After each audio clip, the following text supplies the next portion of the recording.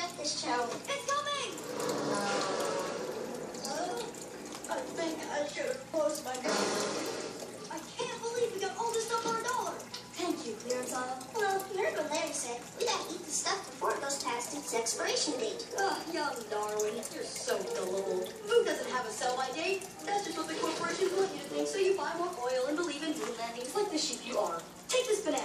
According to your sell-by date, it should go bad today. But as you can see, it's absolutely fine. Dude, we need to eat this food real quick.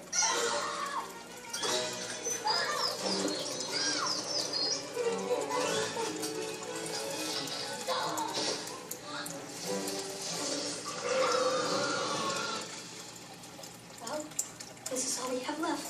Things don't go off in cans, right? What do you think is in it? Please, let it be peaches and syrup. I hope it's hot dogs. As long as it's edible, I don't care. Oh, poor little thing.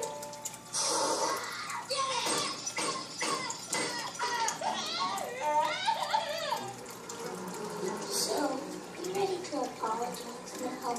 No. Uh, boys, I'm gonna have to ask you to get off the bus. Why? Because the suspension can't take it anymore.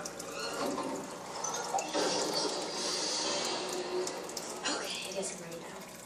Oh, I can't believe we're apologizing. I don't care. I'm not eating canned rats again.